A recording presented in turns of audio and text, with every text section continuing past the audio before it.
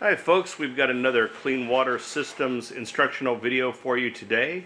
Uh, we're going to review the steps required for maintaining your 5900 BT neutralizer system.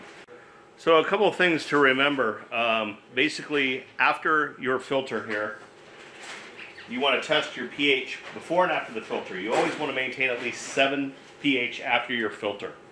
Um, if your filter drops below that, a couple of things may be happening. One is is you may get below your halfway mark on your tank with your media, and you want to fill it back to two thirds. Um, I've gone ahead and marked our tank so uh, you basically can hold a flashlight behind it uh, and see the media level in there. So you normally want to check that once, once to two times a year. Uh, you'll need to fill it depending on your use. Um, and I go ahead and leave those marks on there just so I can see it.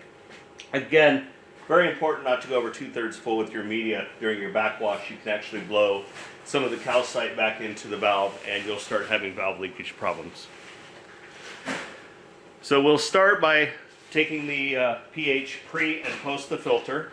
So if your pH drops below 7, first thing you want to do is check that level there and uh, make sure your levels are correct. So again for the neutralizing the uh, pH, um, basically if you're somewhere in the 6 range, a pH 6 to 6.9, you can use a calcite um, media. Um, if you're below that, you add what's called Corosex. And our recommendation is a 90% 10% blend of that. Um, if your pH is even lower, you can go 80-20 or even 70-30. Um, so basically what you want to do first is do your inlet and outlet uh, of your water samples and find out what your pH, pH actually is.